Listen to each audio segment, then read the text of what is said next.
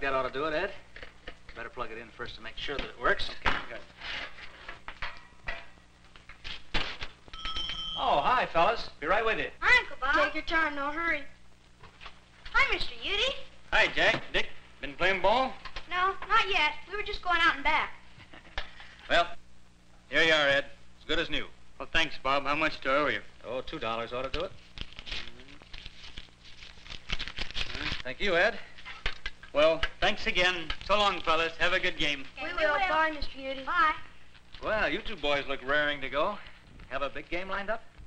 No, just some of the guys are going to work out for a while. Why don't you come out with us, Uncle Bob? We need a good pitcher. Oh, thanks, fellas. I wish I could. I certainly need the exercise. Now, business is business, you know. And speaking of that, what can I do for you, gentlemen? Dad asked me to bring the sticks. What's wrong with it, Dick? Sticks. Oh. Oh, I see. Sure. Well, I think that can be fixed all right. You know, I think being able to take pictures is terrific. It is terrific, Jack. Man really came up with something when he invented and developed the marvel of photography. Who invented photography? Well, that's hard to say for sure. Way back in the 18th century, a chemist over in Sweden was the first one to experiment with the effects of sunlight on silver chloride. And I guess you could say that started other experiments and ideas. But you know, the first camera was made long before that. You mean we had cameras before we even knew about photography? That's just what I mean, Dick. You see, the human eye is the most delicate and marvelous camera in existence. In fact, this camera is just a man-made eye. But it can't compare with your eyes, fellas. Look here. This is the lens of the camera, and it's made along the same principle as the lens of our eye. Now, if we focus a camera on an object, and then we change the distance between the camera and that object, the image becomes blurred and we have to focus the camera all over again. And that focusing has to be done by hand, you see, just like this. However, in our eye, the focusing is all done automatically. Now, we move around seeing things from different angles and distances all the time. Strong muscles in our eyes change the focus thousands of times each day, and we never even give it a thought. How about that? Yeah, I never knew that. And that's not all. You see this little opening in the lens? Now, that's called the iris. And it controls the amount of light that gets into the camera to expose the film. Now, we can open and close the iris like this. See?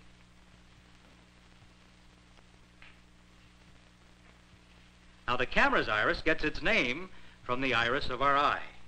The eye's iris automatically opens and closes to adjust for different amounts of light. The more light, the smaller the iris. The less light, the wider the iris opens. That's terrific, Uncle Bob. Our eyes are amazing little instruments.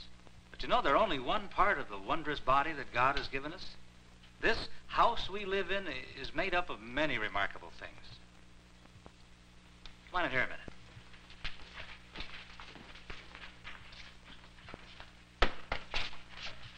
Take a look out there at your buddies playing ball. Now you don't see still pictures, do you? No. No, of course not. The pictures that the eye gives us are moving pictures. And they're not silent pictures either.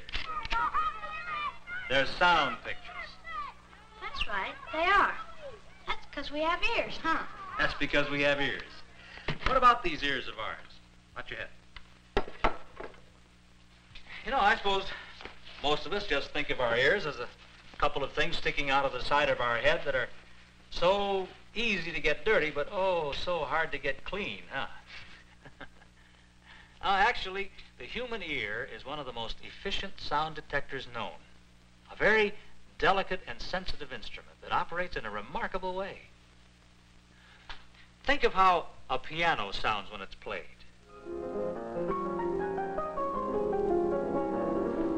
Do you realize that the sound you hear is played all over again on a perfect little musical instrument inside your ear? You see, the piano is really just producing sound waves. And when these vibrations reach our brain, then we hear the tones. As the keys are struck, felt hammers hit the strings, causing them to vibrate. Now, each pulsating string sets the air around it vibrating in the same way. These vibrations, or waves in the air, are picked up by the outer ear, go down the auditory canal, and are carried by the bones of the middle ear to the cochlea, which is all rolled up like a tiny seashell. If the cochlea could be stretched out, we would discover an instrument very much like the piano, except that it is much more wonderful, for the cochlea has more than 24,000 strings. When a piano is played,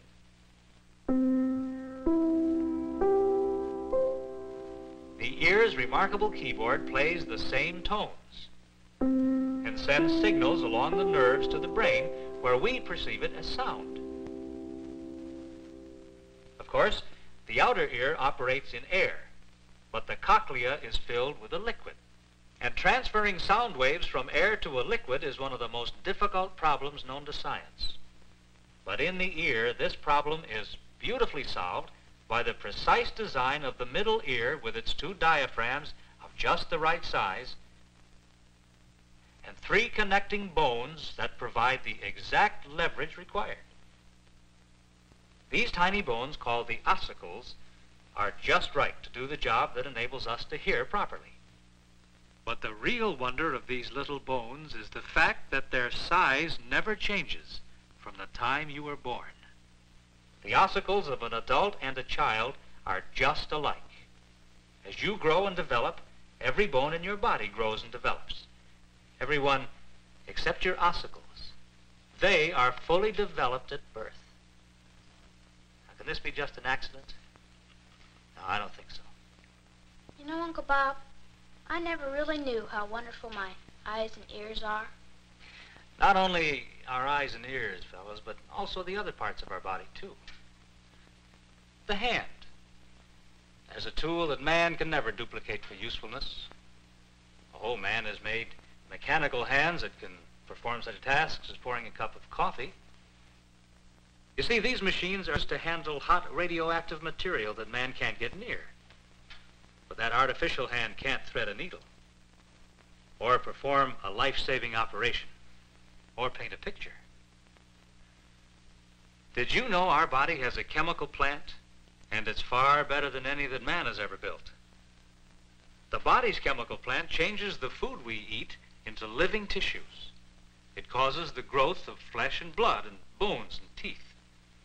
Why, it even repairs the body when parts are damaged by accident or disease. The food that we eat is changed into power for work and play. As this fuel is burned in the body's living furnace, energy is set free to drive our body machine. And the same remarkable furnace helps to keep us warm in winter. Why, even in freezing weather, our bodies will sometimes actually overheat. And when this occurs, the body's own cooling system takes over. Drops of perspiration pour from millions of tiny sweat glands in our skin. With the help of this perspiration, the body's cooling system can keep our temperatures from rising for a limited time, even in heat that will fry a steak. And don't forget our heart. Our very life depends on the proper working of this amazing little instrument. Our heart is actually a little muscular pump, forcing blood through thousands of miles of blood vessels. Blood that carries food and oxygen to every part of our body. The heart pumps an average of 12 pints of blood every minute, and in one day pumps enough blood to fill a gasoline truck to overflowing. During your lifetime, your heart will pump enough blood to fill a string of tank cars 50 miles long. And just think, fellas, if you live to be 65 years old, your heart will have beaten two and one half thousand million times, and without one single shutdown for repairs. Yes, we've been given a wonderful body machine, which is made of many separate parts. In addition to those we've mentioned, think of our, our wonderful bone structure the way in which our body manufactures its own lubricating fluid so our joints can move without squeaking. Then there's our voice box and our vocal cords, which enable us to speak. Our, our lungs and our, our blood cells, our nervous system. Then, of course, there's our brain, which in itself is almost beyond our ability to understand. I guess God went to a lot of trouble just to make our bodies so perfect. Yes, the way we are made does show his great wisdom and power. And we have a responsibility to take good care of these houses we live in. We should keep ourselves clean, not only from the ordinary kind of dirt that we all get on our hands and faces, but also from the kind that will spoil our hearts and minds. We should eat and drink only those things that are good for us. And we should try to keep ourselves well and strong by getting plenty of fresh air and good clean exercise. You mean like playing ball? I mean like playing ball. You better scoot on out there and get that practice started. Okay, Uncle Bob, and thanks. So long, Uncle Bob. Still wish you could come. So long, fellas.